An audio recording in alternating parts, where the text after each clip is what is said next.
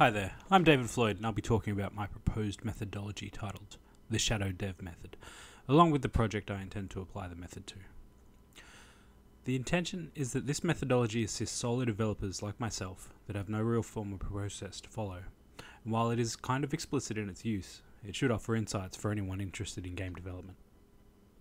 First, I'd like to say that it is an original proposal and takes what knowledge I've gained in the past two years of project management classes and attempts to consolidate that with my last 10 years in game development academia. This is to create a method for myself and others attempting the tour de force that is solo game development. It's created with the whole spectrum of game development in mind and offers vision of an overall game idea before its implementation. This is seen in the form of diligent planning and offers structure to a process that people specializing in a singular field may overlook.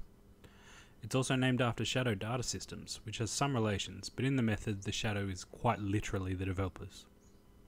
So, someone wanting to completely deliver a game by themselves has to be capable of doing all the roles on the left, while arguably only possessing the item on the right. That's a lot of specializations that most developers can relate with. There's probably a few more I missed, but these are basically the essential roles for creating an original game and releasing it in the hopes of financial success. No one is going to be good at all of them, and the method doesn't expect that you are. That's unreasonable. It's too many hats to wear, and the skill sets of some of these roles are highly perishable. But your shadow will always be there, and a few processes take advantage of that, which may seem odd, but bear with me. First, as a part of the curriculum, we had to include a project with the intention of applying the method to it. I present Starload, which serves as a desirable model for the Shadow Dev method to be enacted upon, as its development team is, well.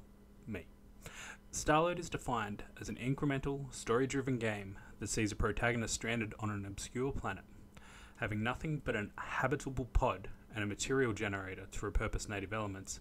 The player is expected to acquire enough resources to eventually create a factory. From that factory, a further level of play is enabled that allows the player to create mining ships to harvest orbital resources and allows operations on other planets. Progressing further into the game sees the factory mechanic applied at a planetary system level, where prodigious amounts of materials can be used to create star loaders. These gigantic vessels absorb stars and convert them into dark matter, which offers the protagonist the opportunity to eventually return home. The key objective of Starload is to have a completed project that can be debuted with a minimal amount of external assistance utilized to finish the project. Secondly, the project's inception is fundamental in developing the Shadow Dev method, Additionally, it explores the appropriate level of methodology use required by a single developer to create a high quality game within a feasible amount of time. Anyway, regarding the previously mentioned ideas of a developer talking to their shadow, first, the shadow triad. Three questions that are at the root of the method and should be asked routinely during the development cycle. Can you do it to the required standard? If you can't, do you have the ability to learn it? And what happens next? The first question identifies what the developer is doing, and if they are capable of doing it to a standard which they deem acceptable. This in turn asks the fundamental question of if they can't do it, do they have the capacity to learn it? The alternative for if they can't is addressed later in the method. Following this check is a holistic question that should be viewed with every developmental field in mind. The pragmatic shadow. During the processes where this is suggested, explaining each idea aloud and talking through a task is recommended. Even better if ideas can be discussed with a human being, if one can be found, but the developer's shadow is just as useful. This method of self explanation is scientifically beneficial and can assist in identifying shortcomings that may not be evident when internalizing ideas. Last of these processes is the shadow pitch, which is a suggestion on how a developer should sell their game at an individual that is unfamiliar with their work. In a real world scenario, Gamers that often describe games to friends never describe it by saying, it's a fast paced first person shooter that has 13 different weapons and takes you through a Martian environment where you, a vengeful Marine, take on hordes of satanic monsters. It is more colloquial than that, and it's got very specific points the gamers tend to focus on. So something like, oh man, this game is ridiculously good. The soundtrack's all heavy metal, and you get to rampage through hell with a shotgun. There's also this melee system that destroys demons and there's this massive gun, but you got to see it for yourself. That kind of familiarity used as a pitch is a suitable method for expressing the personality of a game, and can help detach a developer from the role of creator, and perceive their work as a player of their intended audience. The method assumes the developer isn't working for a client, because solo games tend to be projects of passion, though it could be rectified to work with a client. Anyway, four main stages of development over three production phases foundation, refinement, implementation, and progression. Before the process begins, every good game idea needs to be evaluated, and a reasonable amount of time should be dedicated to deciding if the developer is capable of completing the project without assistance, as finding personal limitations often happens well into the development process. The Shadow Dev method does attempt to resolve these limitations with practical, though sometimes obtuse solutions that are offered in each of its stages. Foundation. The first stage is a bare layout of the project. A developer grabs a good game idea and fleshes it out, with the first emphasis being that they understand what their idea elaborates to. And doesn't require any kind of documenting, just a note that may include the game project title and its core idea. For example, Starload, procedural incremental mining game, with some microtransactions because I need to eat. The next step is your basic feature list. This is the bare basics to, to get to a prototype, as getting this out is key in understanding if a, de- developer should continue. Ideas that are nice to have but not fundamental get added to the secondary list called luxuries. With each feature, the triad gets applied. This helps to stop feature creep real quick when you think about your capacity. For instance, a developer who programs can probably make a player move in Unity without too much issue, but do they know how to key an animation to make it look like it's moving? Next steps are to assess costs and schedule if necessary, and set up project folders to start putting something tangible to a project. It's also recommended that a root folder titled Project Management is created for the feature list, as it will need to be referenced often. Refinement takes the previous feature list and elaborates and breaks down the features into workable tasks. Adding on to this, ideas that may help to implement these features and explore every angle that they require should be noted. And if they seem complicated, a developer can apply the triad and note which features need time to learn. Once that's done, formalize the requirements and add estimates if necessary. The next phase is building the architecture from a software point of view. Similar to a class diagram, it's the only sort of relationship planning made, so including art and audio in the node is recommended. After that, testing can be decided, as to what testing is used is up to the developer. Same with standards, though it's recommended that anything that is fast and easy should be applied, like camel case for coding, Hungarian notation if your adherence is high.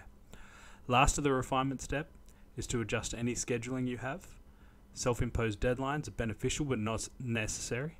Estimates from clarifying requirements can be used to improve this step. Implementation. The main production phase contains five primary steps, with an iterative step between five and six. First is preparing for a project. This mainly concerns hardware and needs a better name. Basically, the developer needs to ensure all required utilities and resources are accessible before committing to a project. Next is preparing game platforms. This regards cross platform titles mainly, but at its core is just the principle of making sure you can deploy to your intended platforms. Proving complicated concepts returns to the shadow triad. Any areas that are considered complicated or require time to learn should be dealt with first and developed in the manner of proof of concepts. These slices of functionality may require considerable effort and application of alternative methods to produce expected results. The methods involve things like playing with tactile objects, pragmatic shadow, use of card based nomic suggestions, and removal from a project. All have some degree of efficiency when applied to problem solving and passing deadlocks. Developing a prototype is fairly straightforward, though the Shadow Dev promotes the exploitation of the Yerkes-Dodson law to explore the use of stimuli to improve productivity. The curve is pictured here, and the study basically says an optimal amount of caffeine and a good tempo can have a significant benefit to a developer, though this varies wildly on task difficulty. Another proviso of this step is that swapping between disciplines is reduced as much as possible to avoid the cost of context switching. The next step is to acquire feedback. Personal attempts can help, but public and external feedback is always better. This and the next step bounce back and forth with appropriate testing and updating. Luxuries are added, and the feedback step is initiated again. The last of the production phases is progression, and any developer that reaches this step should be proud of what they have accomplished, since it can all, all go a bit funny after deployment. First, though, the finalization of any documents to release the game user guides, installation instructions, legal documents, etc. Next is the optional step of public testing. This is highly recommended but may not always be easy to facilitate. The third step is a significant step and needs considerably more time than I have to present to detail. But it summarizes to think of your marketing strategy from inception of your game. Attempt to gain traction with social media and public awareness. Hit up the right reviewers, get a game website, get mailing lists, use a shadow pitch, post about your game's accessibilities like colorblind options if you have to, and consider localization to open your game to as many people as possible. The last step, deployment, is more or less doing your research on the certification process for the intended platform, if there is one, and don't release your games around any major releases. Lastly, maintenance is more or less technical issues, but sometimes issues of ethics may arise, and these should be treated professionally. Roles and responsibilities. The method itself requires no specific roles, but assumes that the developer is capable of learning and achieving what they set out to do. And the method's sole responsibility for its users is that if they answer no to the second question asked in the shadow triad, that they do not waste time in outsourcing and acquiring resources for that requirement. Quality assurance in the shadow method. Slightly flawed practice with one developer, but good quality can come from following the structure advised in the method. That comes back to relying on the developer for testing purposes, which can be difficult to do from a creator role. Hence, the method relies heavily on feedback to ensure quality, which faults again as it still relies on the user to implement feedback. The cycle needs to be broken with a secondary view. Personal personnel dedicated to quality assurance would be the easiest option, as a developer's shadow cannot specifically do this task. Other limitations of the method. Well, apart from it being unproven and only catering to very specific developers, it understandably fails at all areas that solo developers fail at, particularly time management. Solo devs tend not to be on anyone's clock, which can make them slow on certain tasks. Quality control is an obvious issue, as well as long term focus. The shadow method cannot assist with these failings in its current implementation, nor can it be scaled to more team members appropriately, as no division of tasks is advised. In justifying this methodology, traditional methods don't make the cut as they don't factor solo devs at all. Solo devs have only a minimal amount of time to address project management as a game gets developed, and the method facilitates this by only documenting what is necessary. The greatest justification for this method is that out of the few methods advised for solo software developers, only a couple are for game development, and those are orientated towards programmers and lack formal structure. In conclusion, while this isn't an original proposition, I personally believe the method needs to be tested first, then developed further, especially in the areas of art and design, since these are key to any good game. I have the opportunity with Starload to evaluate its functionality and refine the Shadow Dev method, which I would gladly recommend to any developer attempting solo game development. And that's my presentation. Thank you for watching.